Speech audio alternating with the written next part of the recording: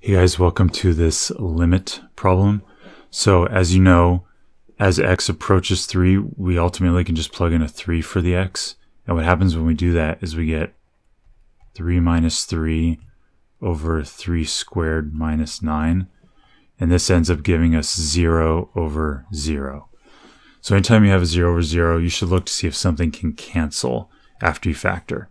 So this is actually a difference of 2 squares. So I'm going to rewrite this as the limit is x approaches 3 of x minus 3 over, and I'm going to factor this x minus 3, x plus 3.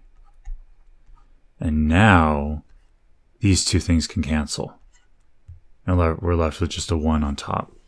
Now when I plug in the 3 for the x, I end up with 1 over 3 plus 3, which is equal to 1 sixth.